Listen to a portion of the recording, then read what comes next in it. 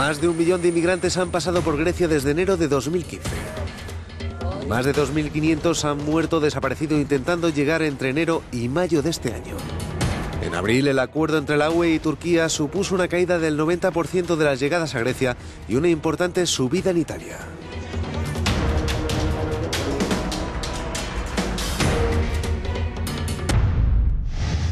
Escaramangas es uno de los 35 campos de refugiados que hay en Grecia.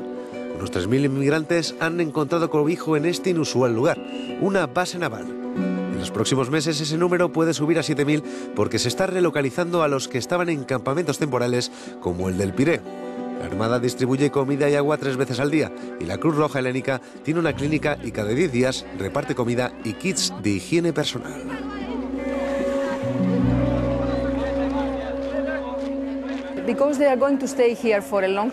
Porque van a estar aquí bastante tiempo, tenemos que implementar las actividades como clases para los niños, grupos de mujeres para que nos cuenten sus necesidades. A partir de ahora tenemos que trabajar en eso. El campamento abrió a principios de abril y acoge sobre todo a sirios, afganos e iraquíes. A causa de la diversidad cultural y de las ansias de huir de Grecia, el ambiente puede enrarecerse.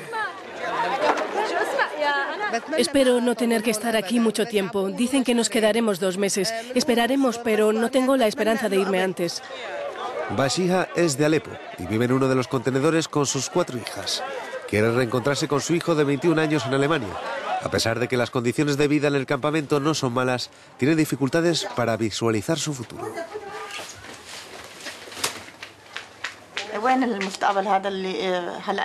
Mi futuro ¿Qué pasa cuando vives así?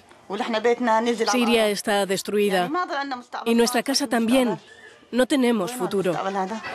Con el cierre del paso por los Balcanes, más de 54.000 personas han quedado bloqueadas en Grecia y Atenas no puede hacer frente a todo el papeleo y las demandas de asilo.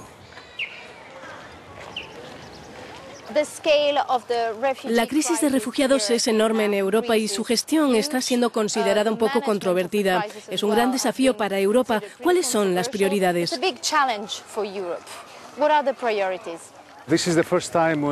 Esta es la primera vez que tenemos una situación así en Europa.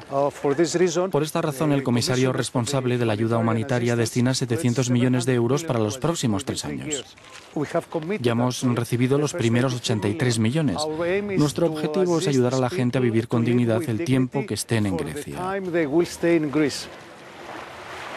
Desde el cierre de las fronteras con el norte, unas 15.000 personas están bloqueadas en los alrededores de Atenas. Hemos ido a ver cómo se gestiona esta situación de emergencia en el campamento de Elinico. El Inico fue el orgullo de Grecia al acoger en los Juegos Olímpicos de 2004 las competiciones de béisbol y hockey y tener un aeropuerto internacional. Estos tres edificios llevan abandonados años y ahora se utilizan como improvisados campamentos de refugiados. El Consejo Danés para los Refugiados nos ha permitido grabar aquí, en el antiguo aeropuerto, donde hoy sobreviven 1.200 personas.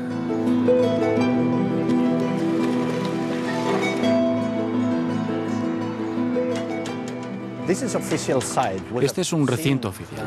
Hemos visto cómo la población ha disminuido por sus condiciones. No hay ventanas, ni ventilación. No reúne las condiciones apropiadas para vivir en verano. El Ministerio de Inmigración está construyendo instalaciones más apropiadas y se están haciendo progresos, pero todo va muy lentamente.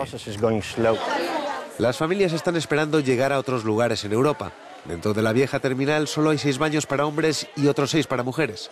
La ONG danesa, financiada por la UE, da comida, material higiénico y la ropa donada por los vecinos.